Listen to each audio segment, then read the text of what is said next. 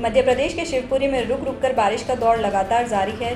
ज़िले के नरवर स्थित अटल सागर बाँध पर पानी का स्तर बढ़ने के कारण छह गेट खोले गए।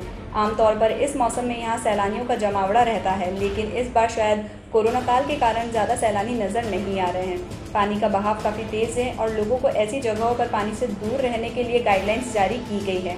क्योंकि यहाँ पर पहले भी बारिश के दौरान हादसे हो चुके हैं। लिहाजा प्रशासन ने हिदायतें जारी की है कि इस तरह की जगह पर खास सावधानी बरतें और पानी से दूर रहें। शिवपुरी से कुलदीप गुप्ता की रिपोर्ट।